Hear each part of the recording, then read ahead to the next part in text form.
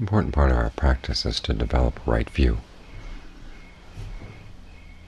the kind of view that can lead to the end of suffering.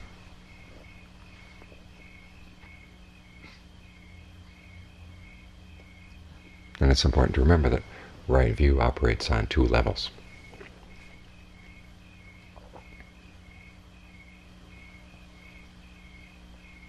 The first level concerns people, the way of the universe.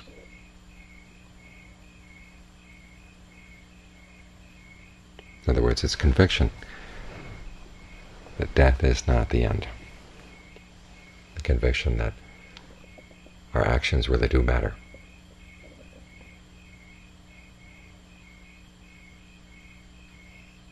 And the conviction that there are people who really know these things. It's not just a, an idle theory, but there are people who've seen for themselves that good actions like virtue, gratitude, generosity really do have value. That they're not just idle ideas or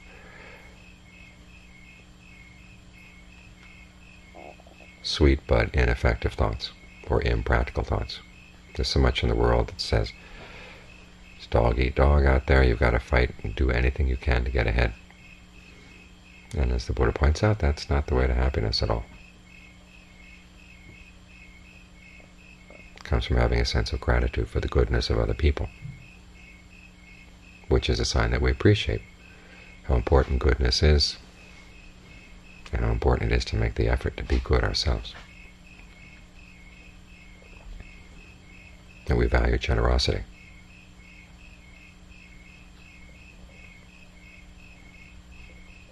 The Buddha once said, stingy people can't attain even the first jhana, to say nothing of them, the noble attainments. The whole practice has to be based on a sense of generosity the willingness to give.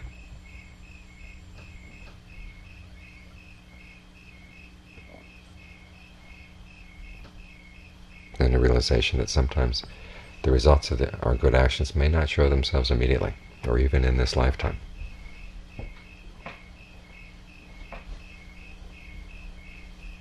The realization that we're in this for the long haul.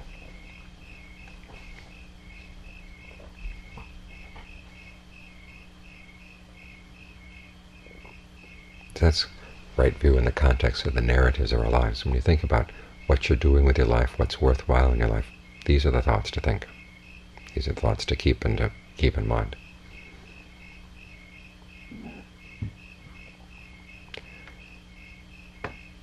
There comes a point where even this level of right view has to be transcended. When you realize that no matter how much you give, no matter how, no matter how much gratitude you have, there's still suffering in the mind. And even if you do take care of the issue of where you're going after life, that you do your best to build a good rebirth, that's not the end. Because it's very easy for people, once they get a good rebirth, to misuse it. No matter where you're born, there's still levels of stress, dis-ease. There's an inherent instability in the world, all worlds.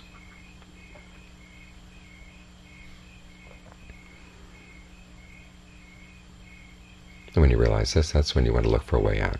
That's where the second level of right view comes in, simply seeing things in terms of stress, its origination, its cessation, and the path to its cessation.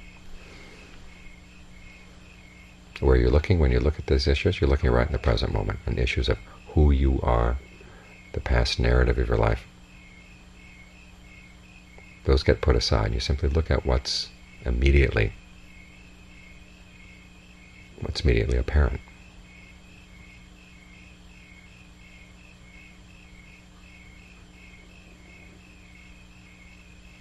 In other words, you take even the goodness you've been doing and you start taking it apart.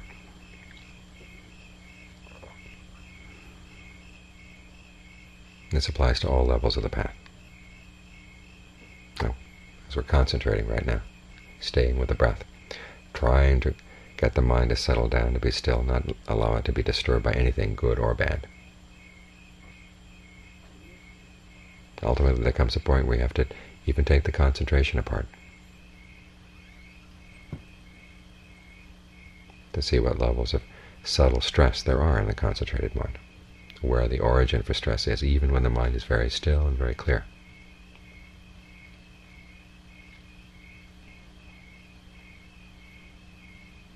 In other words, there comes a point where you have to question even your goodness.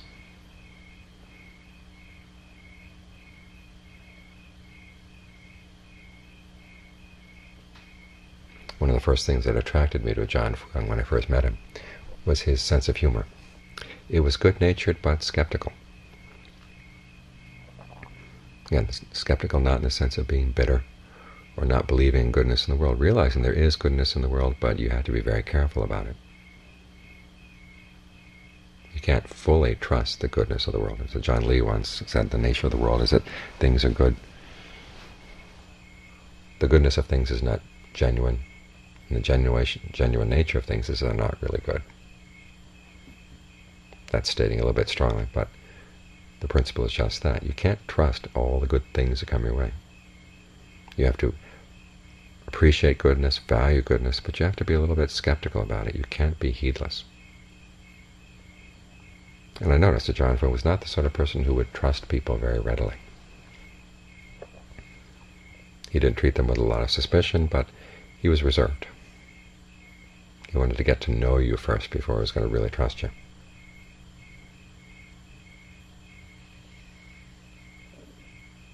I'd lived with him two years before he even allowed me into his room. I eventually became his attendant, but he wanted to make sure that he was he could trust me.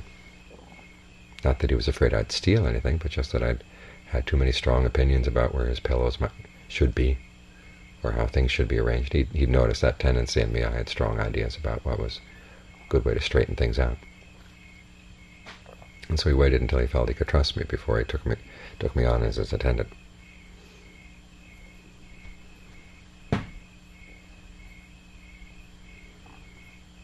We may not like the idea of someone who's leery of other people like this, but you have to remember he would also learn how to be leery of himself.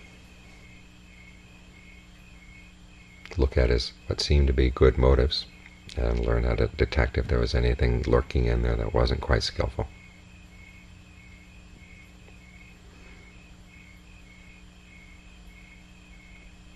In other words, if you can't be skeptical about other people, how are you going to be skeptical about yourself? I mean, we always tend to trust ourselves more than we trust other people.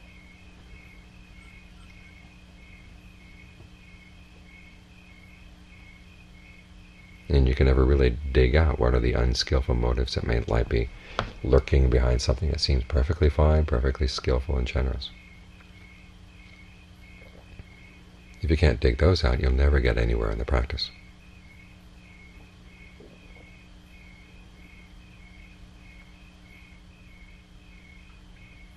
This is why one of the most important attitudes you can develop as a meditator is just that, this ability to be skeptical in a good-natured way.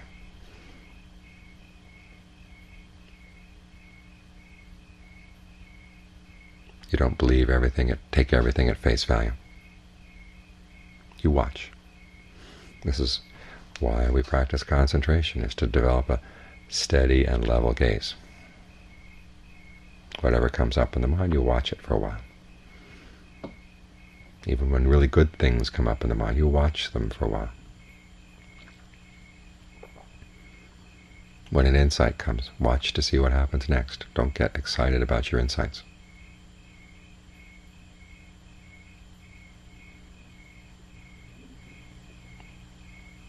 Because whatever comes up in the meditation, you want to test it to see what you can really trust. What really is skillful. The best way to find that, to answer that question is to watch things, and watch things over time. Watch them again and again.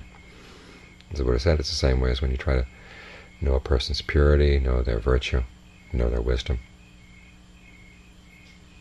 know their powers of endurance. You have to be willing to spend time with those people and be very observant.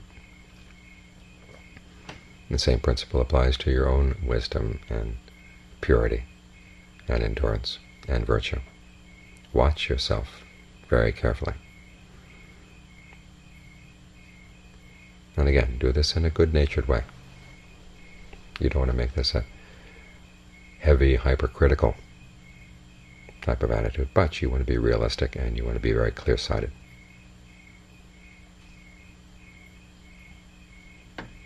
You can bring this attitude to your meditation, you find that you yourself become more and more trustworthy.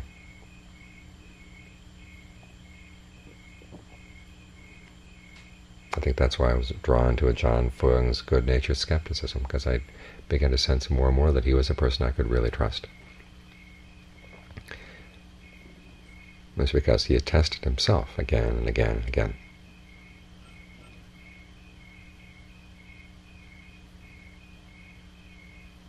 So we work on developing goodness in our lives, we work on developing good skills in our meditation. But at the same time, you have to learn how to question your goodness. For what purpose? To make it better. To make it more reliable.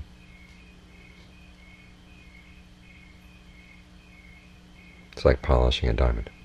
If you polish only a few sides of it, it doesn't have its full radiance. If all the sides are polished, then you've got a really radiant diamond.